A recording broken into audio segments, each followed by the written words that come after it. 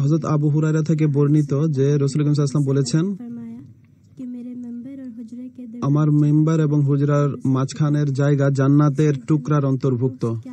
আমার আমার মেম্বার এবং হুজরা বা ঘর যেখানে রসুল ইসলাম থাকতেন মধ্যবর্তী জায়গা জান্নাতের একটি টুকরা। এখানে জান্নাতের টুকরা বলতে কি বোঝানো হয়েছে?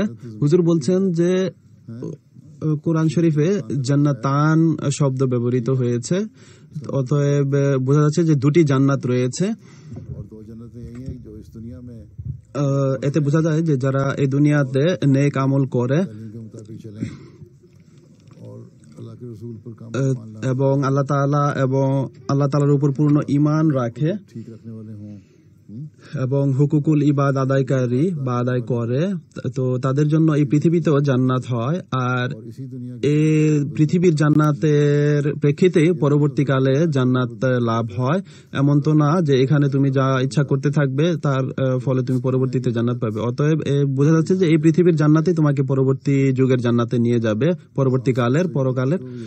রসুল ইসলাম এটিও বলেছেন যে, আমার যাই রয়েছে, এটি মেম্বার যেখানে দাঁড়িয়ে আমি এই মানুষকে দিক নির্দেশনা দেহে পথ নির্দেশনা দেই। আমার ঘর যেখানে আমি অবস্থান করি, আমার রাস্তা যেখানে আমি চলাফেরা করি, এই সবগুলো এমন জায়গা যেখানে আমি দোয়া করেছি। আর যে আমার উপদেশ বাণী শুনবে, আমার সুন্নতের উপর আমল করবে, যে আমার কথার উপর আমল করবে সে জান্নাতে যাবে।